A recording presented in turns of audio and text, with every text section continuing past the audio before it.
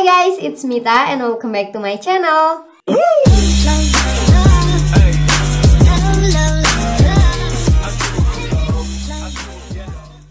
Oke, jadi di video kali ini aku bakalan ngehaul lagi barang-barang dari Shopee dan kali ini aku bakal ngehaul topi kekinian ala-ala Korea gitu alias bucket hat dan di sini aku udah punya 4 paket Nah, empat paket ini isinya ada empat bucket hat. But first, sebelum kita mulai ke videonya, seperti biasa jangan lupa buat like dulu video ini dan bagi kalian yang belum subscribe channel aku, silahkan subscribe dulu. Tinggal klik tombol merah yang ada di bawah dan nyalain juga loncengnya supaya kalian gak ketinggalan video terbaru dari aku dan jangan lupa juga buat follow Instagram aku karena informasi yang gak aku share di YouTube bakalan aku share di Instagram jadi kalian jangan lupa buat follow ya. And ya, tanpa perlu basa-basi panjang lebar lagi, let's move to the video. Oh ya guys, sebelum aku mulai unboxingnya, aku meminta maaf dulu ke kalian karena rumah aku itu di pinggir jalan dan di seberang rumah aku itu ada uh, sekolahan SD gitu. Jadi aku mau minta maaf kalau misalkan nanti di video itu uh, kalian denger kayak ada kendaraan-kendaraan lewat atau anak SD yang lagi istirahat itu pada teriak-teriak, ketawa-ketawa, terusan pokoknya rame gitu. Aku minta maaf. Tapi semoga aja kalian tetap bisa menikmati video aku. Oke langsung aja aku bakal mulai dari paket yang pertama ini dia. Nah jadi ini tuh aku beli Bucket hat yang modelannya tuh kayak gini Papan catur kayak gini. Nah kayak gini. Ini tuh aku beli dari toko namanya Glory Store ID dan dia tuh cuma punya satu warna ya jadi hitam putih gini aja. Terus bucket hat ini nama di tokonya adalah bucket hat catur checkerboard. Terus ini tuh bahannya uh, canvas tebel gitu cuma bagian luarnya tuh dia emang rada kasar gitu kalau kita pegang. Tapi tenang aja bucket hat ini tuh tetap nyaman kalau kita pakai karena tuh uh, bagian dalamnya dia tuh kanvas yang halus gitu loh. Kanvas yang lumayan lembut tapi tetap tebel gitu. Nih jadi itu dia sebagai kayak uh, apa ya furing atau innernya gitu. Tuh. Ini tuh juga jahitannya rapi banget sih menurut aku. Cuma di sini masih kayak ada uh, jahitan yang gimana ya double gitu nggak apa-apa sih karena nggak terlalu kelihatan juga jadi tetap oke okay. Oh ya untuk bucket hat yang pertama ini dia tuh lingkar kepalanya sekitar 55 sampai 58 cm. Jadi menurut aku tuh ini uh, bisa dipakai dari anak SD yang udah gede gitu kayak kelas 5 6 gitu sampai yang udah dewasa kayak kita-kita ini. Karena dia tuh hmm, gede gitu tapi tuh gedenya yang enggak gede banget. Jadi kalau misalkan buat anak SD itu tetap cocok tetap pantas kayak gitu. Dan topi ini tuh aku beli dengan harga 20.999 rupiah aja. Dan aku sangat merekomendasikan buat kalian beli karena ini tuh bagus banget. Dengan harga yang cuma 20-an ribu tapi uh, kita udah dapat bucket hat dengan kualitas kayak gini menurut aku ini bagus banget sih. Oke langsung aja aku bakal nyobain si bucket hat yang pertama ini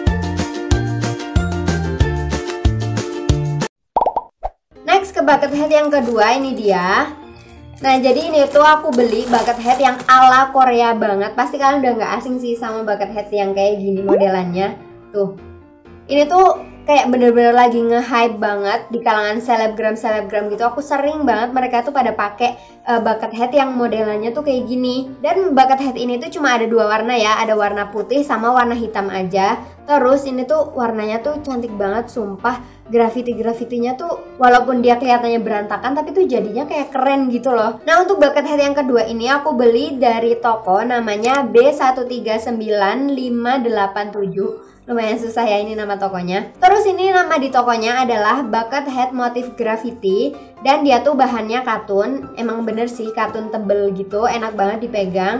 Terus dia tuh nggak kaku bagian sininya nggak kaku ya cuma bagian sini tuh uh, karena di dalamnya mungkin ada busanya gitu jadi sedikit lebih kaku daripada bagian sininya but it's okay karena ini masih enak banget dipakai dan uh, walaupun rada kaku gitu nggak kelihatan yang kayak gimana banget gitu enggak untuk bagian dalamnya dia tuh cuma polosan aja kayak gini jadi nggak ada furingnya kayak yang pertama tadi.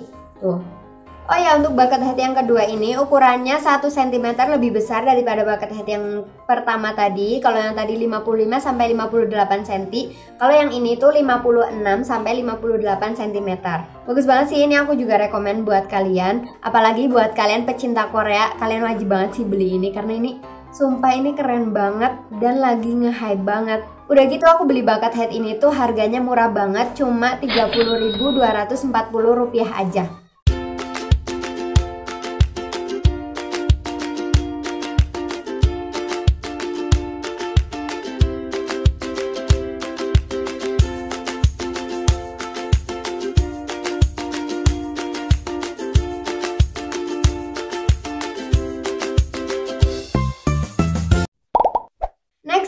Lanjut ke bucket hat selanjutnya. Ini dia. Dan ini tuh bucket hat yang ketiga ya berarti. Di sini aku ada beli bucket hat yang two tone gini. Jadi ada dua warna, dalamnya warna hitam dan luarnya warna putih. Terus ini tuh bisa dibalik gini. Nah, kalau misalkan kalian mau pakai yang hitam, tinggal kalian uh, balik aja gitu. Tuh. Nah, jadi bakat hati yang ketiga ini aku beli dari toko namanya Katenzo Store dan nama di tokonya itu Topi Bakat Head Two Tone. Ini tuh bahannya Japan Drill.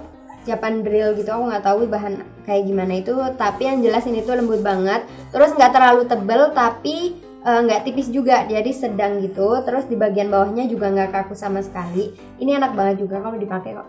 Tuh. Tuh itu bener-bener ngikutin bentuk kepala gitu. Terus ini tuh lingkar kepalanya 58 cm dan untuk bucket hat yang ini harganya 20.650 rupiah aja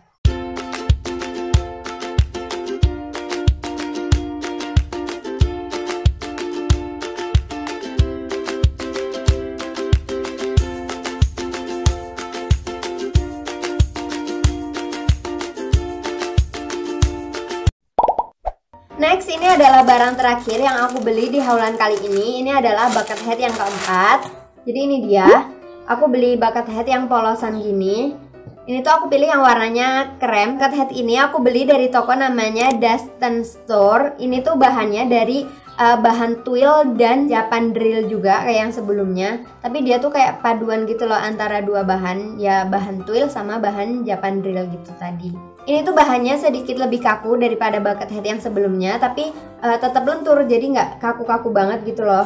Jadi dia tuh nggak kaku, tapi nggak lemes juga, tetap gimana ya, tetap tegak, tapi nggak tegak yang terlalu kayak gimana ya tegak banget yang jadinya tuh aneh kalau kita pakai itu enggak.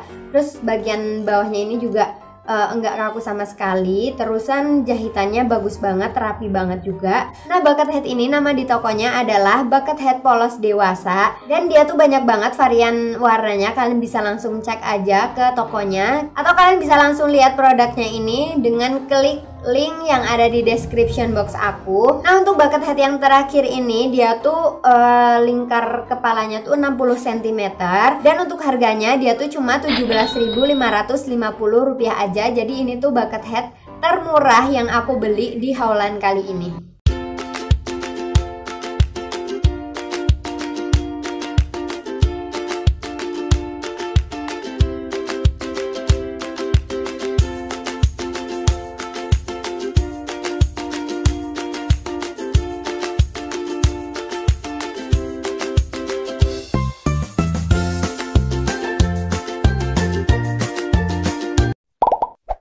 Jadi itu dia tadi haul bucket hat ala aku. Semoga kalian suka sama video ini dan kalian juga jangan ragu buat komen di comment section kalian pengen aku ngeholin barang-barang apa lagi. And ya, mungkin segitu dulu video dari aku kali ini. I hope you guys enjoy this video. Jangan lupa like, comment, share, and subscribe. Thanks for watching and I'll see you guys on my next video. Bye-bye.